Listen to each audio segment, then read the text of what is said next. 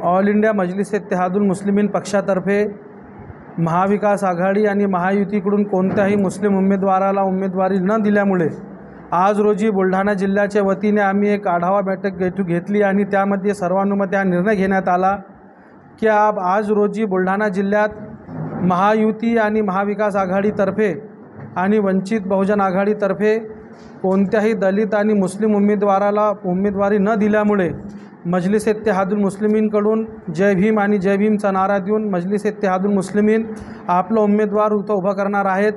आणि गेल्या पंधरा वर्षापासून महाविकास आघाडीला बुलढाणा जिल्ह्यातील मुस्लिम समाज मतदान करत आहेत. परंतु त्या मतदाराचे मतदान देऊनही काही फायदा न झाल्यामुळे आज रोजी आम्ही आमच्या समाजाची आमच्या पक्षाला ताकद इतर पक्षाला ताकद दाखवण्याकरिता मजलिस इत्तेहादुल मुस्लिमीन बुलढाणा लोकसभेची जागा लढणार आहेत.